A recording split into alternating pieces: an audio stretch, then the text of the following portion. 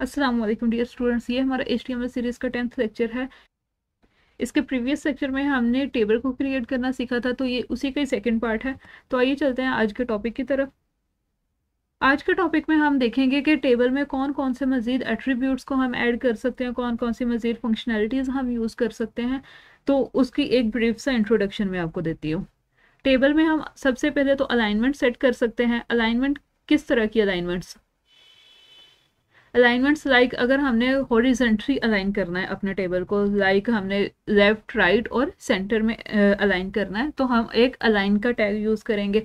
Horizontal alignment is controlled by the align attribute it can be set to left centre और right जब भी हम align attribute को use करेंगे तो हम अपने टेबल को लेफ़्ट सेंटर और राइट right कर सकते हैं और इसी तरीके से जब भी हम एक सेल में कोई अपना कंटेंट ऐड करते हैं लाइक like एक सेल है जिसमें नेम लिखा हुआ है हमने उसको अभी सेंटर लेफ़्ट और राइट ऐड करना है तो अभी हम अलाइन एट्रीब्यूट यूज़ कर सकते हैं Second one is V-align. V-align controls the vertical alignment of cell contents. It accepts the values top, middle और bottom.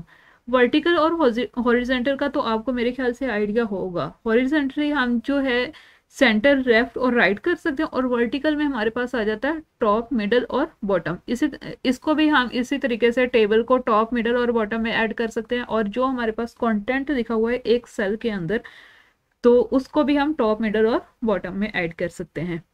The third one is width width में क्या कह रहे हैं? Sets the width to a specific number of pixels or to percentage. If width is not specified, the data cell is adjusted by the by on cell data. इसमें क्या लिखा हुआ है कि अगर तो आप कोई स्पेसिफिक विथ सेट करना चाह रहे हैं किसी भी सेल की तो वो आप स्पेसिफिकली उसे सेट कर सकते हो। लेकिन अगर आप नहीं भी सेट कर रहे हो, उसे बाय डिफ़ॉल्ट रख रहे हो तो जितने एक सेल के अंदर डाटा होगा लाइक अगर एक सेल है जिसमें नेम लिखा हुआ है और एक सेकेंड सेल है जिसमें फादर्स नेम लिखा हुआ है। अभी नेम में सिर्फ़ और सिर्फ़ हम फोर अल्फ़ाबेट्स यूज़ कर रहे हैं और फादर्स नेम में हमारे पास ज़्यादा अल्फ़ाबेट्स होंगे। तो वो क्या करेगा? वो ऑटोमेटिकली जितनी उसमें अल्फ़ाबेट्स लिखे होंगे, उस हिसाब से वो स्पेस ऑक्यूपाई कर देगा अपने लिए। उस हिसाब से सेल को डिवाइड कर देगा। सेल कितनी विर्थ का बनाना है, वो खुद ही डिसाइड कर लेता है। जितने अल्फ़ाबेट्स होंगे, उतने का वो सेल बना देता है। अगर आपने कोई स्पेसिफिक विर्थ ऐड नहीं की हुई।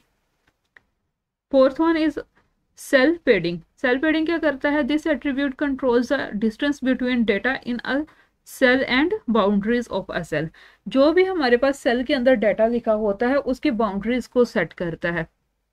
लाइक like, हमने नेम लिखा है। नेम को टॉप से कितना मार्जिन देना है लेफ़्ट से कितना मार्जिन देना है राइट से कितना मार्जिन देना है और बॉटम से कितना मार्जिन देना है, ये हम सेल्फ एडिंग के ज़रिए सिलेक्ट करते हैं। देन आ जाता है हमारे पास सेल स्पेसिंग सेल्स के अंदर कितनी स्पेस देनी है आपने? एक सेल को दूसरे सेल से कितना ज़्यादा कितनी स्पेस पे आपने रखना है? कम स्पेस देनी है या अगर बिल्कुल ही वो साथ साथ जुड़े हुए हैं तो आप कह रहे हो कि एक या दो पिक्सल के दरमियान में स्पेस ऐड हो जाए तो वो भी हम सेल स्पेसिंग के ज़रिए ऐड कर देते हैं।